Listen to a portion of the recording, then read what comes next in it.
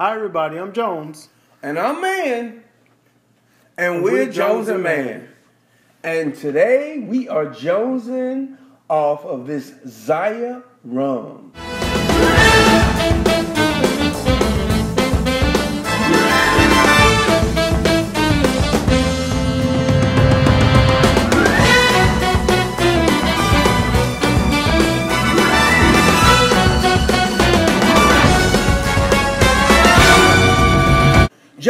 I think that we, if out of all the things that we've had, all the videos that we've done, this is probably one of the things that we've talked about the most. Yes. Um, Zaya has been one of our favorites. I think that I ended up. Um, It was a Ho- gift set favorite. holiday time, my favorite time of the year. Went into a store, saw this cool with a basket weaving neck, two nice glasses gift set of this rum. I really wanted the glasses. Um, I liked that it started with a Z, so I said, "Hey, I'm gonna go for it," and it changed our lives um, in the world of rum. Uh, so uh, I, I mean, I, I think we we talked it to death. So I would just say, any, anything you want to add about Zaya? Well, I can tell you, and, and because we do drink it so much, I didn't do a lot of research on it. Um, I can tell you that it's from Trinidad. Um, it's made from sugarcane, so it, and it, but it is very sweet, and we both know it's very sweet. Right. Um, the the downside to it is at thirty five dollars a bottle, the basket weave that they used to have on the neck of the bottle and the bottle design was really cool, and it made the bottle It made it feel like, like a more a- expensive. Yeah, like a more Um, expensive e- rum. even this, uh, the the glass was a little bit thicker uh, on it. It had a, a, a, a more of an indentation at the bottom. Um, like you mentioned, this neck was all covered in a like a, a basket weave around it. But I think that there was a change in the factory, in, in the, the location of the distribution factory okay. um, that when that change happened, so did the bottle design and the neck. Um, and the downside is is I've also heard that um, It- some of the flavor changed. Some of the too. flavor may have changed. Haven't been fortunate uh, fortunate enough to have a old and a new side by side to really validate that. But I have heard that it's a little bit different. Um, I've been off Zaya for a while now because we've been doing this. I've been trying like every you know instead of drinking the same thing that I'm normally used to drinking, I I'm trying to try something new every single Yeah, time. yeah, yeah. Um, so I think it's going to be good to get back to Zaya and and see if I can fall in love with it again. My uh, my hope and desire is that you know we've tried several rums, so I want to see. And, and Zaya has been top of the line for me on my premium rums. So now I want to see how this spice rum stacks up against the uh, Bamboo, the Rum Barcelo, you know, and the rum and the other rums that we've tried, the El Dorado. Right. Um, I want to see how if it still holds that high um, status that I, I put it on that pedestal. Yeah. So uh, let's crack it open and, and take some shots. So this is Zaya is a 12 year aged rum. So I don't think it falls in the spiced rum category, does it? I think it's just aged. I think it's just aged. It, it may not be spiced. Um, it- But you know, right away, I mean, you get really cool uh, vanilla notes in smelling it. Um, and the, the uh, it's very aromatic. I mean, this is uh, by smell takes me back to the first time that we tried Zaya, and um, it's a very romantic moment because this this was top of the line yeah, as this far as top of the line back then, several years ago. Clink 'em and drink 'em.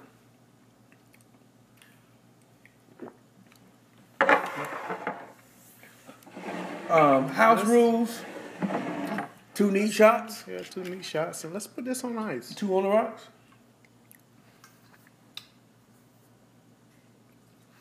Yeah, this is uh, It's like coming home. uh, Maybe a little different. Yeah, yeah. Mhm. Okay. Clink 'em and drink.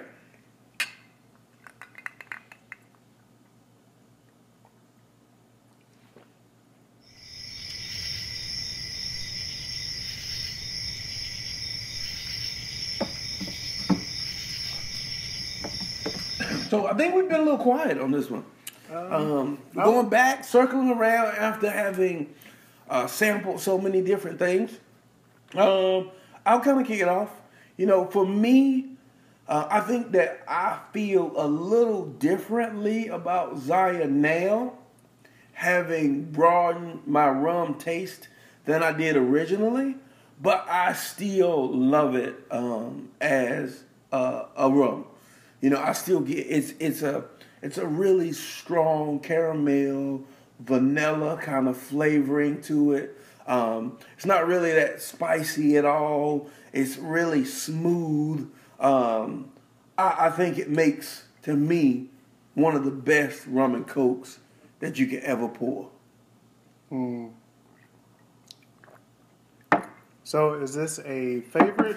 Um, you know, still a favorite. It, to me, it's still a favorite. Still a favorite. I mean, uh, you know, first time I tasted it, I hadn't tasted anything like it before because my uh, experience with rum was Bacardi uh, maybe uh, Captain Morgan's, and this was so far above that and beyond that that I was like, oh my God, this is this is the greatest thing on earth.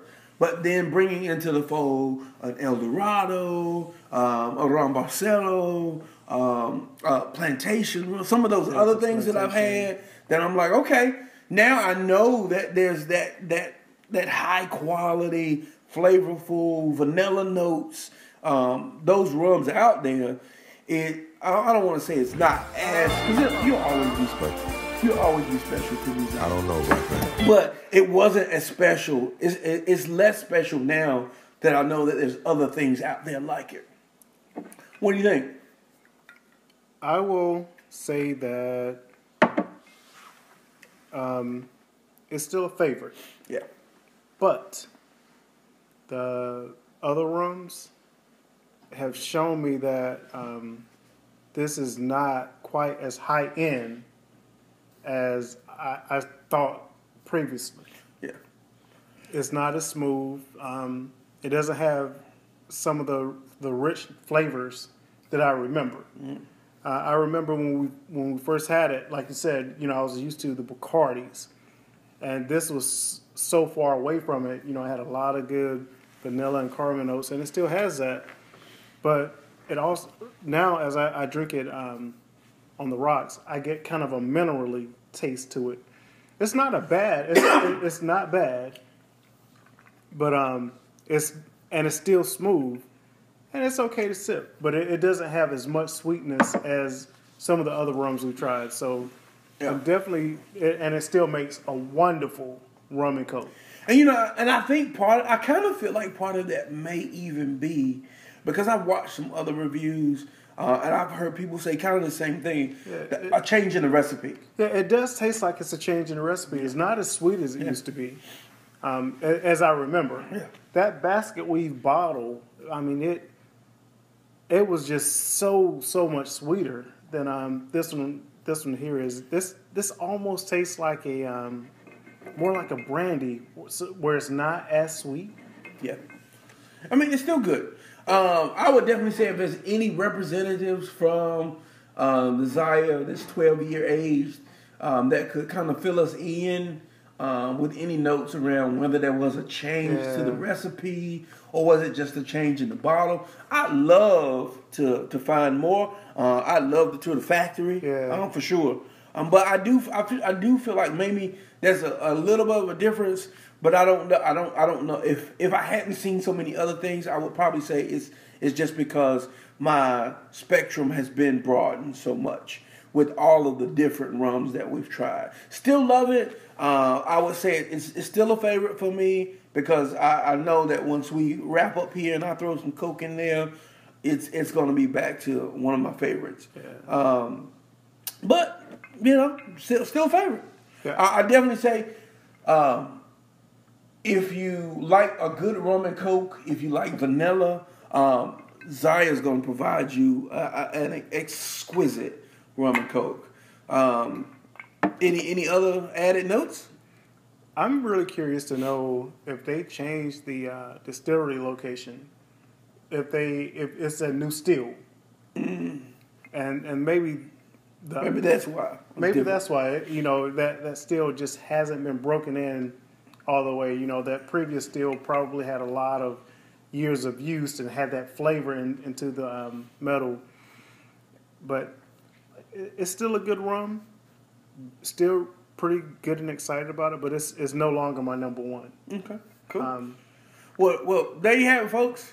Um, Zaya rum, uh, a bit of change. You grow and you evolve. Yeah, it's more, you taste more. That's the cool thing about this. That's why we suggest that you guys get out and taste what we um, kind of bring to you.